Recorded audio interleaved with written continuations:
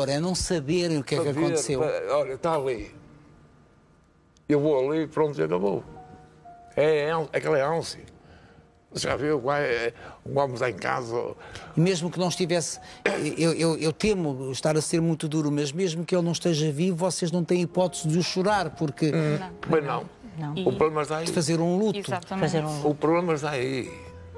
Será? Não será? é viver na dúvida. E, e- Exato. E, E isso é o se que ele, dói mais. e se ele estiver vivo, o que é que lhe fizeram? O que é que ele passou ao, às nudezas que casou?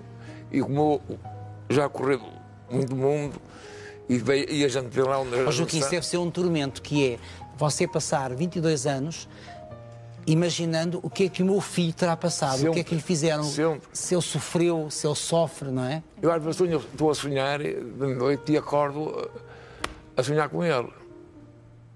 Isto é a coisa mais pura do mundo. Verdade.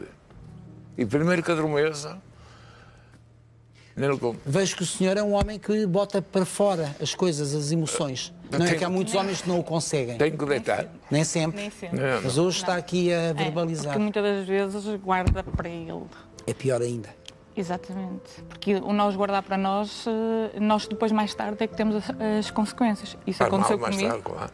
Ó, Sónia, a Sónia penso que é a mãe, a Sónia penso que é, não, é, é a mãe da Constância. É, sim. É a filha única? Sim. Parabéns pela pela filha que tem, que é maravilhosa. Tem seis aninhos. O facto de ter perdido, de ter perdido, quer dizer, o facto de ter um irmão desaparecido há 22 anos, isto cria-lhe medos Muitos. em relação à sua filha? Muitos, muitos medos. Eu sou uma pessoa que estou a trabalhar e estou constantemente a olhar para o telemóvel. Porque a qualquer momento possa receber algum telefonema. E então isso para mim, Isto é viver é, num sufoco, sim. em pânico. Sim, sim. E sempre que vamos a algum lado, estar sempre de olho nela. Porque é traquina e um paraqueta e então É faladora, mete conversa facilmente. muito. e eh, e é, é complicado. Porque isto está, está dentro de nós. E se quem não passa por isto já sente um bocado de medos, mediante Claro. a situação que nós vivemos, não é?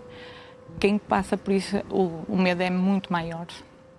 Laurinda, há uma altura em que a esperança talvez tenha hum, acendido um pouco, porque se falou, penso que por duas vezes, de avi- de avistamentos do Rui num cantão italiano na Suíça.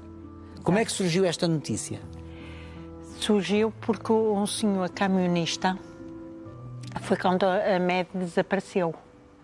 Aconteceu aquilo vezes. na MED.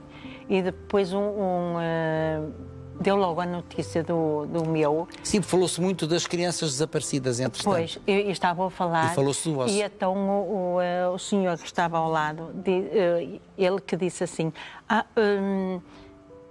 po- ah, procuro pela média e por, por mim que eu estou desaparecido, ninguém procura.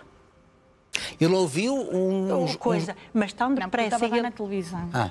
Estava a dar na televisão. E então ele estava sentado num café com dois capangas, digamos assim. Ele, o, vosso, o seu irmão? Sim. Sim. Pelo menos é aquilo que o senhor nos Eu disse, que nos transmitiu. Sim.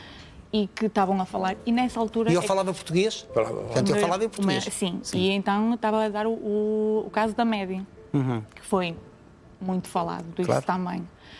E, e o meu irmão ouve isso e então eh, acho que se levanta e que fala: Eu também estou desaparecido, sou português e, e os meus pais não querem saber de mim. Nós ouvir uma coisa dessas para nós. Ui, eu fui logo onde ele morava, levei-lo no jornal, o jornal Notícias, que a fotografia Foi logo onde ele morava o tal senhor que, que ouviu isso. Que exatamente, eu fui logo, que ele morava entre Vila de Conde e Póvoa de Varzim.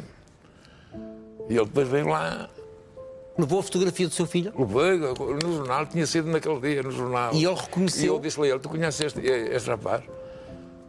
Conheço perfeitamente, eu estive à beira dele, eu vi-o.